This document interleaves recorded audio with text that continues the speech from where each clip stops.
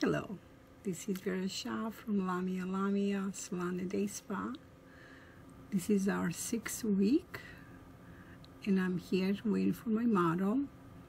So I'm going to tell you a little bit what are we doing today.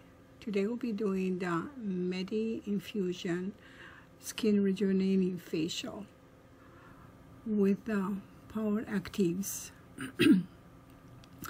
we are looking for the exceptional results without compromising the health of the skin.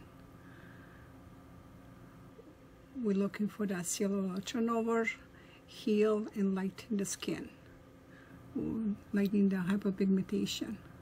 Today protocol for our facial is cleansing of the skin, light exfoliation, uh, prepping the skin for the infusion treatment, um, following the mask we'll do some beautiful uh, relaxing massage